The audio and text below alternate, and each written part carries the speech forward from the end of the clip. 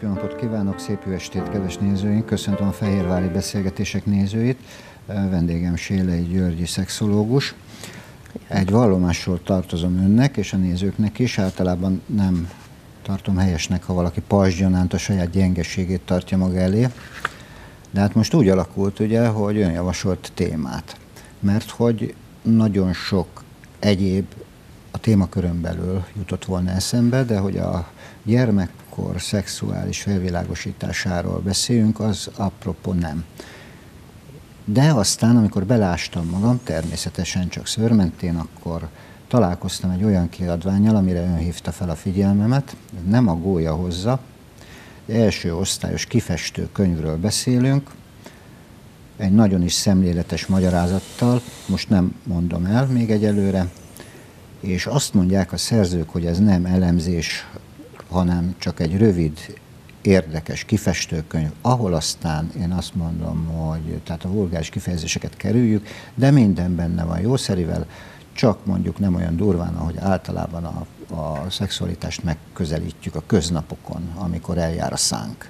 Azon felül pedig minden benne van. No hát akkor már is kapóra jött ugye ez a téma, és akkor most ejtsünk szót arról, hogy erről a tabu témáról, hiszen a szexualitás témája tabu körbe tartozik, holott a gyermekkorban történő kommunikációban rendkívül fontos helyet foglal el. Fontos lenne, igen, hogy beszéljünk ezekről a dolgokról, de hát miután a tabu, a tabu természete az az, hogy nem beszélünk róla, nem csak gyerekkorban, nem felnőttkorban is még mindig nagyon nehéz a szexről beszélgetni, a gyerekkorban pedig a szülők egyik rémálma közé tartozik, amikor a gyerekkel meg kell ejteni a szexuális felvilágosítást. Úgyhogy a legtöbb szülő számára ez egy ilyen egyszeri alkalom, amikor úgy jól rákészül a szülő arra, hogy most aztán leülünk a gyerekkel, és akkor mindent elmondunk neki. Hát ez több ponton is sántít ez a dolog. Általában a szexuális felvilágosítás helyett inkább jó lenne szexuális nevelésről beszélni. Mikor kéne a felvilágosítást elkezdenünk? A szakemberek egy része azt mondja, hogy már óvodáskorban, csak nem így, ahogy ez a kiadvány tette. Nulla éves kortól kezdődik, Nulla nagyon korán, igen. Tulajdonképpen a szexuális fejlődésünk már a fogantatás pillanatától kezdődik, és végigvonul az életünkön, akár tudunk róla, vagy akár elismerjük, hogy, hogy, hogy ez létezik, akár nem. Az, hogy belőlünk milyen szexuális lények lesznek, lesznek, leszünk, vagy mik leszünk tulajdonképpen nagyon-nagyon sok mindentől függ, kezdve attól, hogy minek születünk például, hogy fiúnak vagy lánynak születünk-e, és hogy elfogadjuk-e azt, hogy aminek születtünk, azok vagyunk. Mert ugye már ez is egy külön probléma, jel, problémát jelentett, hogyha valaki mondjuk nőnek születik, de nem érzi magát nőnek, vagy hogyha férfinak születik, és nem érzi magát férfinak. És aztán ez a, a, ennek a kialakulása, hogy mit fogadok el magamról, hogy minek születtem, erre rakódik aztán majd arra rá, hogy ez a szerep, amit én elgondolok magamról, hogy én ami vagyok, ez mivel jár. Tehát az, hogy a társadalom hogyan alakítja ki a férfi szerepet, a női szerepet, minek kell megfelelni, minek nem kell megfelelni, milyennek kell lenni egy férfinak vagy egy nőnek, vagy egyáltalán milyennek kell lenni valakinek, aki szexuális lény, ez nagyon gyakran nem kimondott csatornákon keresztül, inkább megsejtendő csatornákon keresztül. Ez kinek a felelőssége az enyém, a szülői? Is, El, természetesen. Első, elsősorban, De első körben. Én azt gondolnám, hogy ez a szülőké is, és hogyha egy nagy kört így felosztanánk különböző szerepek, szeletekre, akkor a szülőknek mindenképpen egy elég nagy szelet Aztán jár óvoda, vagy adott is. Minden, minden embernek, Mindenki? aki kapcsolódunk, kapcsolódik velünk, aki, aki az oktatásunkban, a nevelésünkben részt vesz, azért, mert a szexualitásunkat nagyon nehéz elvonatkoztatva kezelni, megpróbáljuk így kezelni egyébként, ami nem hiszem, hogy jó lenne, ugyanis azt, hogy férfiakká nőkké serdüljünk, vagy férfiak nők legyenek belőlünk, vagy egyáltalán ez a, ez a szó, hogy férfiak vagy nők, ez nagyon sokfajta tartalommal bír, többek között, és nagyon fontosan, nagyon lényegi tartalommal, szexuális tartalommal is bír, hogy férfiak vagy nők vagyunk például. A környezetünk minden tagja felelős ezért? Tehát beletartozik ebbe az úgynevezett bűvös körbe? Igen, én azt gondolom, hogy mindenhonnan kaphatunk információt. Információt kaphatunk a szomszédainktól, vagy a, a körülöttünk levő emberektől, hogy hogyan öltözködnek, hogy kiabálnak egymással, vagy sem, hogy a, a mezítelenséggel hogyan állnak például, hogy beszélgetünk ezekről a dolgokról. Tehát az, hogy mit látunk, mit tapasztalunk, és miről beszélgetünk, ezek egy ilyen egél, eléggé különleges mixben valami módon alakítják a szexualitásunkat. Tehát a verbális kommunikáción túl is Ó, természetesen. nagyon sok minden. A szexualitás jó része nem verbális csatornákon keresztül kerül hozzánk, hanem egyszerűen látjuk, hogy az apánk, az anyánk hogyan viselkedik a másikkal, hogy ők hogyan viselkednek velünk, hogy odahaza milyen a szereposztása férfiak, nők között például. Mikor cselekszik helyesen egy felnőtt? Akkor, amikor hogyha... ott vannak a töpörtyűk akkor, hogyha a szexualitást az élettel együtt járó fontos dolognak gondolja, és e szerint cselekszik, és e szerint beszél is a gyerekkel. Ez bizalmi kérdés? Ez bizalmi kérdés. E, inkább azt gondolnám, hogy bizalmi kérdés is minden bizonyal, mert ez egy nagyon bensőséges dolog. Mindenjük, mindenjükünk életére egy nagyon a, a legérzékenyebb témák közé tartozik, azt gondolom. És az, hogy hogyan beszélünk a gyerekeinkkel, például, hogy elismerjük el, hogy hogy, hogy egy lány születik, vagy fiúnak várjuk-e például, vagy az, hogy egy kislányjal beszélgetünk-e az ő nőiességéről, vagy a testrészeiről például, vagy hogy a fiúkkal beszélgetünk-e a testrészeikről, ez egy nagyon fontos dolog. Általában nem. Tehát a beszélgetés mikéntje most akkor, a, akkor induljunk tényleg onnét el, hogy egyáltalán nem beszélgetünk el. Ez vajon miért alakult így? Mert szemérmes a magyar ember? Nem csak a magyar ember szemérmes, a szemérem az európai kultúrára általában jellemző. Az elmúlt évezredek során a szexualitást, a testiséget nagyon sokféle módon kezeltük, leginkább úgy, hogy eléggé háttérbe próbáltuk szorítani a testiséget, és a, azt hiszem talán szét is választottuk a lelkiséget a testiségtől jócskán, és ennek az eredménye az, ami Tehát most a keresztény van. kultúrkörben ez Azt már mondom részben, igen, nem csak a keresztény kultúrkörben, hanem általában a világ jó részére jellemző az, hogy a szexualitáshoz valamiféle viszonyt fognak kialakítani, és ez, hogy ez mennyire fogjuk elismerni a férfiakat vagy a nőket, kit milyen szerepben tudunk elképzelni, ez nagyon sok kultúrá, kultúrá, kulturális háttere van a dolognak. Essék szó a megfogalmazásokról. Hmm. Korán sem mindegy, hogy hogy kezdjük. Erre ugyanakkor fel kell készülni. Jó lenne, ha fel tudnánk képzelni, készülni, Lehetséges? de az a helyzet, hogy persze, természetesen fel lehet rá készülni. Tavaly például elindítottunk egy Apák Klubja nevű kezdeményezést, ami pontosan arról szólt, hogy édesapákat, fiatal apákat hívtunk meg egy beszélgetésre, és azt kérdeztem tőlük, hogy ők honnan tanulták a szexet egyáltalán, és nagyon érdekes volt hallgatni őket, tíz édesapa volt a, a körben, és a tíz közül kilenc mondta azt, hogy az édesapjával soha semmilyen módon nem beszélgetett a szexualitásról. Pedig hát fiatal emberekről van szó, mondjuk 30 és 40 közöttiek, akik most szülők, és az a helyzet, hogy ez a fajta tudás átadás egyik generációról a másik generációra még ma, sin, ma sem működik.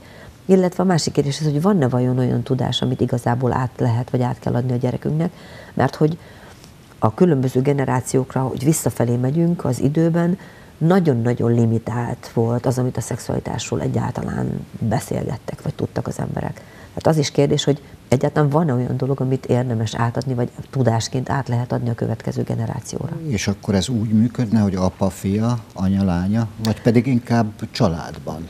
Nagyon jó ez a, ez a megfogalmazás, apa, fia, anya, lánya, de van olyan is, hogy apa, lánya, meg az anya, fia, mert hogy mind a két nem tud nagyon sok fajta információt adni. Mondok egy példát. Akkor, hogyha például egy apa elkezd a fiának mesélni arról, hogy hogyan az ő idejében mondjuk hogyan ment az udvarlás, hogy ők hogyan próbáltak a lányokhoz közeledni, ez nagyon fontos egy fiúnak a férfi oldalról is meghallgatni, de ugyancsak fontos lenne a női oldalt is meghallgatni, hogy a nők hogyan reagálnak arra, ahogyan hozzájuk közelednek. Mert az egy kétoldalú játék. Igen. Úgyhogy ezért azt gondolnám, hogy főleg a családi körben, ha ennek valamiféle kultúrát meg tudnánk teremteni, hogy a szülők hogyan beszélgessenek a gyerekeikkel, nagyon-nagyon sok mindent lehetne átadni. És azt hiszem azért lenne fontos, mert hogy a szexualitást mindannyiunknak újra és újra tanulni kell, és ezt csak gyakorlatban lehet elsajátítani. Milyen a helyes megfogalmazás? Játékos, mese, mm. mítoszorientált? Milyen? Mindenféle. Mindenféle? Mindenféle. És mind jó?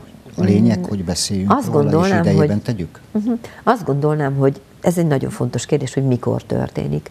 A mikor történik kérdéshez hozzátartozna az, hogyha lehet, akkor mielőtt egy-egy aktuális fontos esemény bekövetkezne az életünkben. Például a lányoknak az első menstruáció, a fiúknak az első magömlés előtt. Tehát amikor valami olyan dolog történik az életükben, ami fontos dolog lesz, és ami új működés a testükben, amit nem ismernek.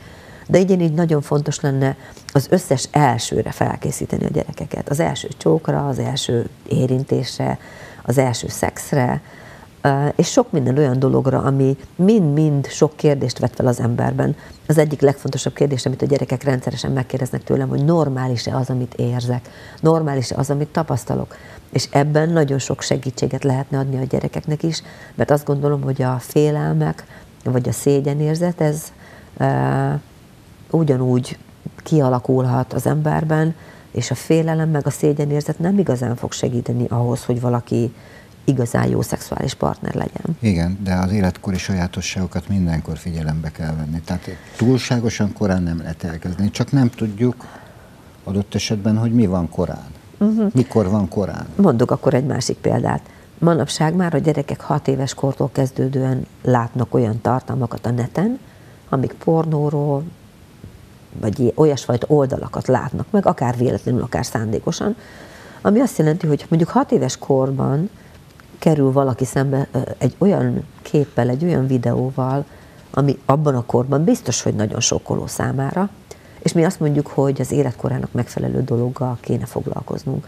Én azt gondolom, hogy nagyon sok minden dologgal kéne foglalkoznunk, és nekünk felnőtteknek is jó lenne valamiféle konszenzust kialakítani, vagy inkább módszertant kialakítani arra, hogy hogyan és mi módon lenne érdemes a gyerekekkel foglalkozni, meg a felnőttekkel De is. egy ilyen módszertan ahogy kiveszem az ön szavaiból, nem létezik, hiszen minden egyes egyérrel egy, a sajátos maga eszközeivel rendelkező, tehát a verbális kultúráról beszélek, arra nincs külön egyére szabva. Tehát lehetne, akkor... lehetne azért ennek, sőt, igazából most már azt gondolom, hogy most már talán van is módszertan, én is azon dolgozom néhány kollégámmal együtt, hogy megpróbáljunk kialakítani egy olyan módszertani vonulatot, ami, ami a tanároknak, vagy netán a szülőknek segítséget ad abban, hogy hogyan lehet a gyerekekkel erről a témáról beszélgetni, úgy, hogy a gyerek is elfogadja, és a szülő se érezze magát kényelmetlenül, kellemetlenül ebben a helyzetben. Ha kellemetlenül, kényelmetlenül érzi magát, azon nem csodálkozunk, ugye? Tehát azért még a belénk rögzült eh, elvárások önmagunkkal szemben, viszont hogyan tanuljunk megfogalmazásokat? Hát először is jó lenne, hogyha neveket találnánk dolgoknak, azért mert a gyerekeket szoktam mindig megkérdezni azt, hogy hát ezt itt most hogyan nevezzük.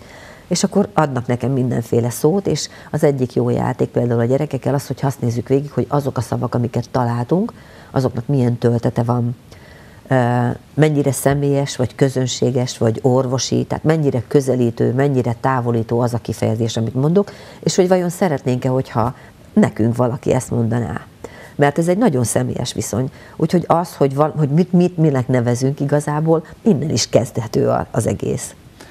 Fordulnak önhöz ilyen kérdéskörben tanácsért? Gyerekek? Vagy Nem a felnőttek? gyerekek, szülők, szülők. Természetesen.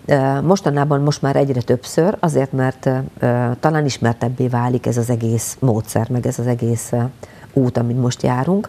Igen, szülőknek is és tanároknak is tudunk most már segítséget adni, mert hogy nagyjából most már a hat éves kortól kezdődően kezd kialakulni az a módszertan, hogy hogyan lehet a gyerekekkel beszélgetni, és nem csak beszélgetni. Mert hogy ez tanulható. Természetesen. Lesz olyan világ, miként látja, amikor a óvodapedagógus és a kisiskolásokat tanítók erre felkészülnek speciálisan az önök segítségével? Igen, én remélem, ezen is működünk, és ezen dolgozunk. Nagyon jó lenne, hogyha ez minél hamarabb megtörténne. Szerintem azért erre még egy kicsit várni kell, de igen, lesz ilyen világ. Jó, most egyelőre akkor köszönöm szépen, hogy megtisztelt, és azt ígérem önnek, illetve a kedves nézőinknek, hogy ezt a beszélgetést mindenképpen folytatjuk. Rendben. És köszönöm szépen, hogy megtisztelt. Szülőket pedig, önöket, szülőket, nagyszülőket arra buzdítom, hogy amit hallottak itt, röviden ugyan, de azt próbálják meg hasznosítani, azt hiszem, hogy a gyermekeink, unokáink érdekében. Köszönöm a figyelmüket, minden jót kívánok, viszontlátásra!